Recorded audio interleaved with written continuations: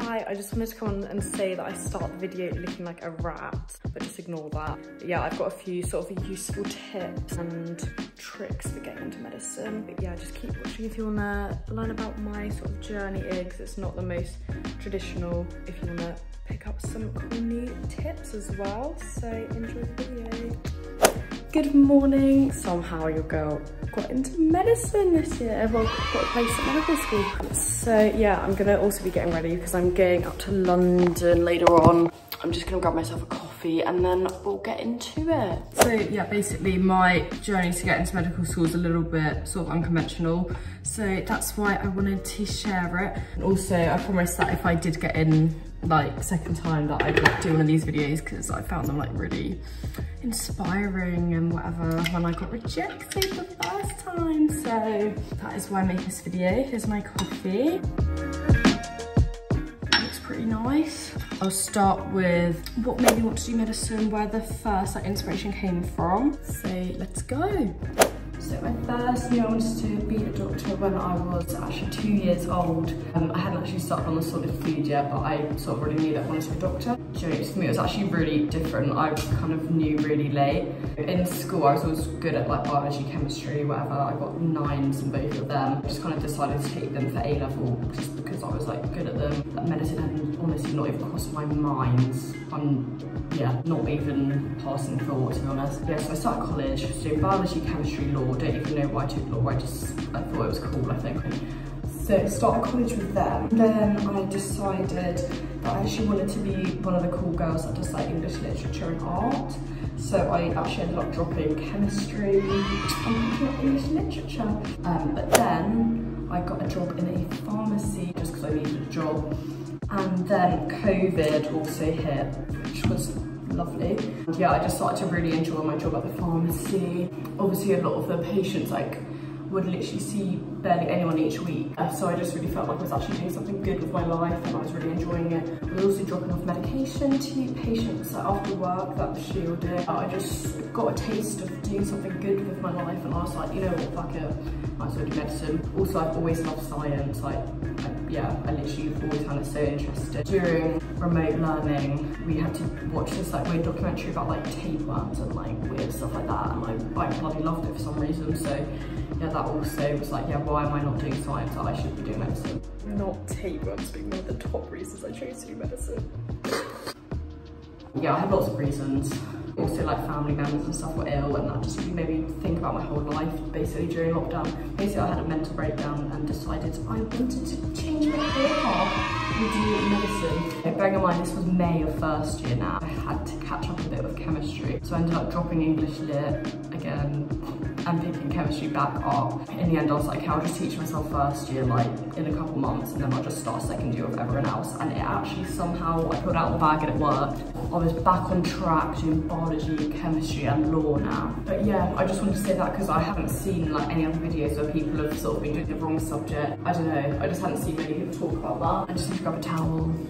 So there was already sort of one hurdle that I had to overcome before applying the first time. So onto my first application, which was in my second year of college, so like when most people apply. I had pretty good predicted grades. I had A star, A star, A, both A stars in the um, sciences. So then I had to take my UCAT exam, which was literally the worst thing of my life, not to be dramatic.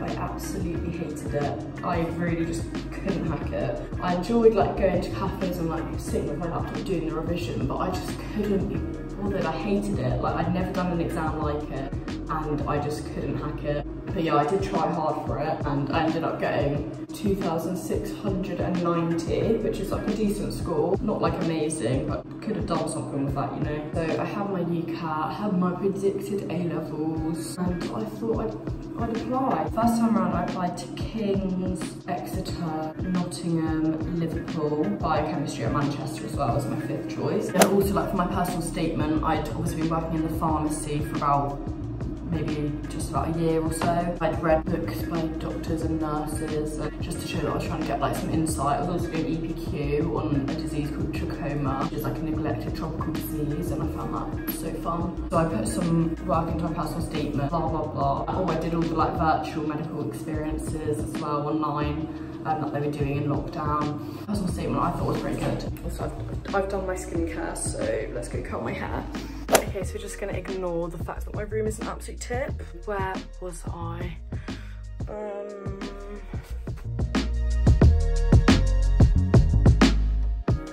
Oh yeah, so what I was about to say was that first time round, I basically had a bit of an ego to me. I was kind of like, I'm literally like an A star, A student. I've got like what I thought was a pretty good UCAT score. I had good work experience. I definitely like had a passion for it. And I was like, my passion will shine through. They will let me in, they'll let me in. Basically, I just, I thought I was a stronger application than I was because if you think about it like medicine is just completely different and like no one really told me. If I was applying for something like law or biology or something I'd be a pretty good candidate. Like I probably would get into some good unis. But medicine is just a completely different ball game I didn't realize it so I applied to too cockily if that's a word yeah I just had an ego. I didn't apply for a range of like good obviously any medical school is good but I didn't apply for like a range of less hard to get into but yeah and also I didn't really look at the like process of like what they look at. Like King's just said we, we look holistically. And I was like oh I'm pretty holistic like well some really care about GCSE some really care about A levels. So it's so so so important that you look at you need to look at our admissions process basically and I just didn't. So so first time applying I didn't get any interviews and yeah, I was just sitting around waiting till like March. Like I was seeing all the student room, like everyone had already had their interviews and I was like, no, they might, they might still be sending me my interview, my invitation, like. So in the end, I didn't get any interviews. Obviously, it wasn't ideal. Also, need to remember my year because so many people the year before had to defer because of COVID. Um, there were sort of less spaces, so it was even more competitive. But still, whatever. Obviously, didn't get any places. I did get um, offer for biochemistry at Manchester. Then I was left in a position where I needed to sort of weigh up my options and decide what I wanted to do.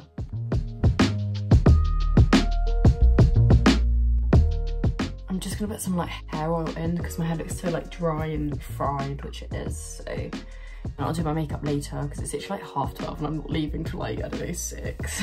and then I shall carry on, girls.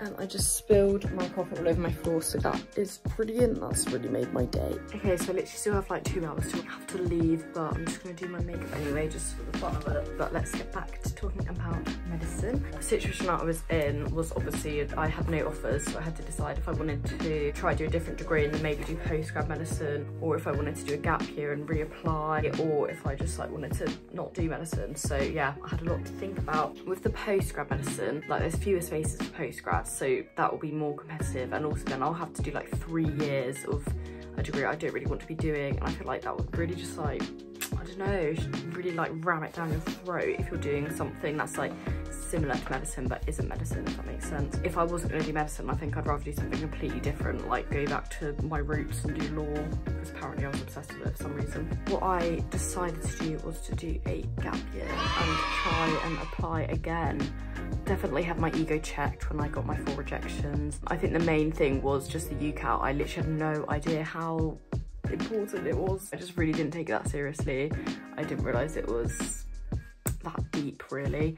So that was the main thing I knew I had to improve if I wanted to get in the next year. I'll just talk a little bit about my gap year and how I sort of worked on my application. Obviously I was working towards my A-levels so I wanted to achieve like good grades for that obviously. I did end up getting two A stars and an A and A star in my EPQ which I was really happy with. I also managed to get a job as a GP receptionist. That's just like more work experience. Got to obviously speak to the doctors and just got much more of a feel of working in the NHS than working in healthcare, so that was good. And then this time I took the UCAT more seriously, so I managed to improve my UCAT score to 2,770, which is definitely a better score than the year before. And then the main thing I say is just, yeah, I learned how to apply strategically. Like I really looked at every single university and saw which ones I had the best chance of getting into, like which ones I'd actually be most likely to get to to the interview stage because I feel like I knew if I got to the interview, I knew I'd be all right. What I did was I obviously looked on the university websites. I also looked on the student room to see the cut-offs from the year before, like UCAT cut-offs, to sort of help decide where I wanted to apply. I ended up applying for Bristol, Anglia Ruskin, Manchester and St George's. Applied for medical sciences at Swansea as well as my um, fifth choice. Bristol, I literally looked and saw that the year before the UCAT cut-off was like 2,800 or something. I just really liked Bristol so I was like that's my one that I'm gonna apply for and like didn't really expect to get an interview but that was a bit of a throwaway one but whatever. The others that I kind of knew that I would have met the UCAT cut-offs like from previous years. Yeah, I just knew that I'd be more likely to get interviews. So I ended up getting interviews for St George's and Manchester. Um, I didn't get one for Bristol, but what was I expecting otherwise? Like that was a bit throwaway, but cares? Obviously you had to do interview prep. That was something I didn't have to do the year before because I didn't get any interviews. Basically just like looking into current topics in medicine, like hot topics, ethical questions, all that sort of thing, just getting like a good grounding. So like whatever came up, I'd be able to have a good discussion about it. I also practiced just like talking about topics out loud. I did like mock interviews with people. A boy who's like the son of someone that my mum works with, he's at Cambridge doing medicine. So I was like, that's a bloody win. If I do questions with him, he must be smart. So one of the doctors from my work did a little mock interview with me. But yeah, this girl I met like at a random place, like she was also applying for medicine and we were both like, oh, should we just do some little fake interviews on FaceTime? So those were like really helpful because it just, yeah, gives you confidence talking about stuff like you know what you're talking about. Yeah, the interviews were literally fine to be honest. They were all really nice at the interviews. Yeah, my application had definitely improved a lot, mainly because of the UCAT, just the way that I was applying. And yeah, obviously had a bit more experience. And So my personal statement improved as well. Out of the three interviews I had, got an offer from St George's and from Manchester and then I'm on the waiting list for Anglia Ruskin but I don't really care I'd rather go to one of the other two. I have actually firmed my place now at Manchester so I will be in September which will be lit. I'm very excited about that. I'm just going to talk a bit about my gap year as well because I actually think there's so many benefits. I just really, I'm really back gap year so I think more people should do it. Also, if anyone's wondering what that is, basically my piercings are infected, so it's some weird little salt paste that I made. Don't know the medical evidence behind that, but here we are. So, yeah, in my gap year, I obviously just got experience like working in the real world. I've had like a few jobs. So I worked at, as the GP receptionist. I also had a job in a bar in the evenings, so that was definitely interesting. I also got to travel a little bit. I went skiing, which was really nice, and it was with like a group of people that I'd never met before.